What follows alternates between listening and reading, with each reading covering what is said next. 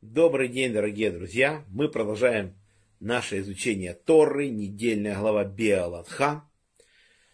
И сегодня посмотрим на 20 ияра 2449 года. Опять возвращаемся к этому дню. Всевышний сказал, чтобы мы уходили от горы Синай и шли в свои странствия.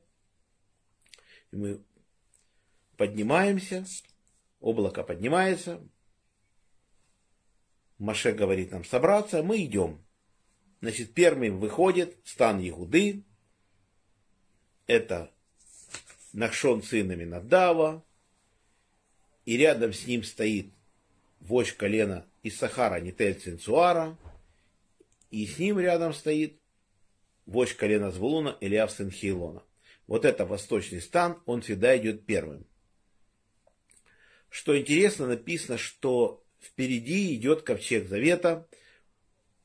Он на три дня пути вперед вылетает, он летает, носит своих носильщиков, он поражает змей, скорпионов, освобождает нам дорогу. В общем, он делает ответственные вещи для нас, он находит стоянки, это его задача, ковчега. После того, как движется стан Ягуды, выходят левиты Гершона и Мрари, они несут святилище. Прежде чем придет колено Кигата к храму, он должен быть уже полностью построен. Поэтому первые идут левиты Гершона и Мрари во главе семьи Гершона Элиасав сын Лаэля, а во главе семьи Мрари Цорь сына Вихаиля. После этого двигается южный стан. Это стан Риувен, Шимон и Леви. Этот стан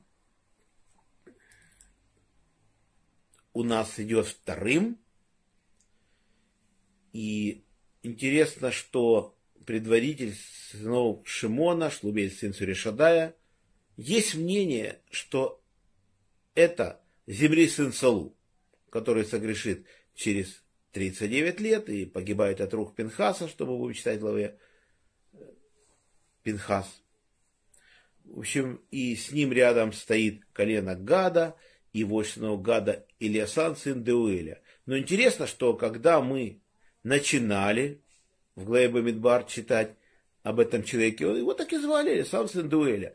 Потом следующими стихами уже смотрим, становится он Элисав, сын Реуэля. Что-то произошло, имя поменялось. Потом опять поменялось. То есть, бывает это как у Егошева.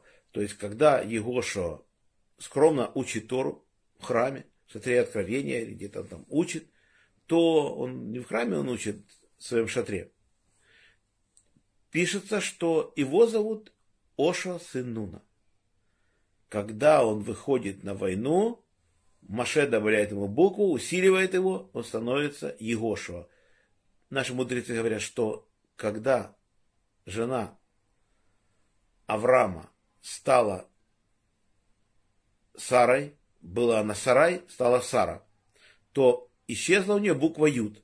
И она нигде не пропала. Вот сейчас берет Маше эту букву и добавляет его Егошева, и он становится сильным. И в конце, когда все, все распоряжения Маше дает Аигошу, сыне Нуны, в конце его Тора называет Оша. Опять. Опять он становится скромным. То есть, когда нужны какие-то действия, он становится Игошева. Так он, мудрец Торы, сидит учит Тору. Он никогда не выходит из шатра. Вот. Почему здесь мудрецы не разбирают, почему меняется Рейш Надалист, или Самсон Деу, или Рио, или я не знаю. Потом у нас идет кто идет у нас? Эльцафан, сын Узиэля, это у нас колено семья Кигата, которые носят самые священные предметы. То есть они носят стол предложения с хлебами, 12 хлебов мы знаем всегда на нем, на этом столе, и каждую пятницу их меняют на новые, и они остаются такими же свежими. То есть это было чудо невероятное. И они носят минору, светильник и носят маленький золотой жертвник для воскурения благовоний. И также носят они большой жертвник медный, который во дворе храма, и, наверное, умывальник, не знаю, не пишется, кто носит умывальник, по идее это они и носят. Вот это вот священная работа сынов Кигата. А ковчег сам носит своих носильщиков, он летает, и он, когда храм уже стоит на месте, становится стоянку, ковчег прилетает и становится свое место святая святых. Вот так это работает. И после этого движется стан Эфраим, Минаше и Беньямин. Интересно, руководитель колена Эфраима, вождь Элишава, сын Амихуда. Что мы о нем знаем?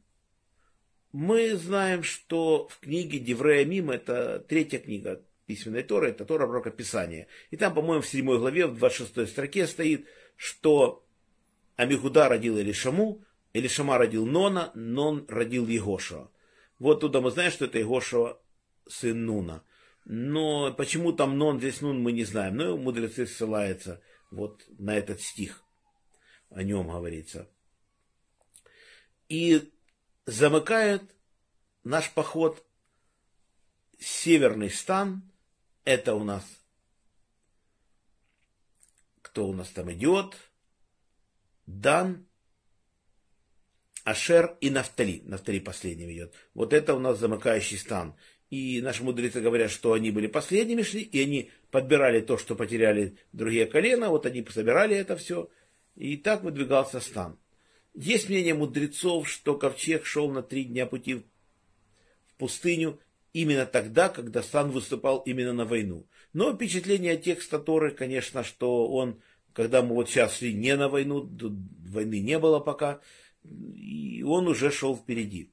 Что интересно, что вожди эти все названы поименно в последний раз, больше в Торе они у нас не встречаются, и мы знаем, что следующее событие, вот мы придем на, на стоянку, и там погибнут люди, о чем будем завтра разбираться, э, на стоянке, которую назвали Тавера, потом она превратится в Верода Атаву, то есть там уже этих вождей не будет. После этого уже посмотрим в главе шлаг, что в разведку пойдут совсем другие люди, которых тоже называют Тора вождями. Вот так.